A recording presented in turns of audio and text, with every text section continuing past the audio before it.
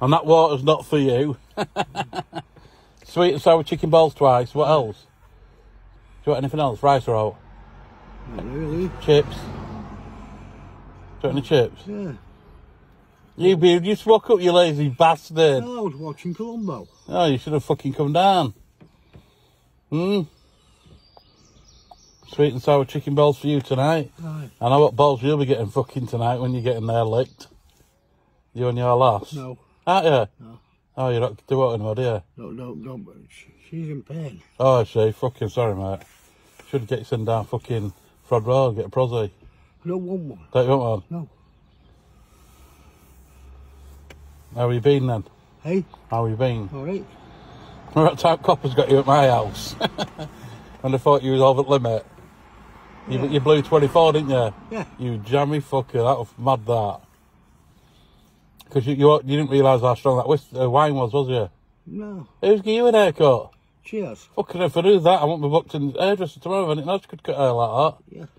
Now she could do mine. She wouldn't. Oh, won't she? No, Well, she said she wouldn't. no.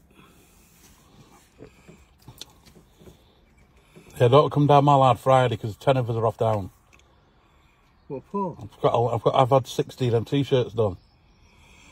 You stop doing them. Hey, I'm going to tell them. You can't don't tell them I'm getting a tenner each for them. I don't care. Twenty quid for t-shirts. No, twenty quid for t-shirts, tenner for caps, and uh, uh, fifteen quid for gloves and that. Oh, I'm going to tell them. No, I'm going to give you half of it. Yeah.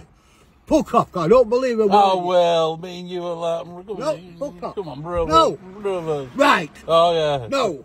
Oh sorry. No. You know nothing about it. It's all bullshit. Yeah, but I don't. I'm not dropping my son in it. I can't. Why? Because I'll look a right idiot. I'll go down and tell them. You won't do that to me, would Yes, you? I would. Would you? Yeah. Yeah. It's all false pretenses. All of it. Danny was trying to talk to you the other day when I was up Ford. So?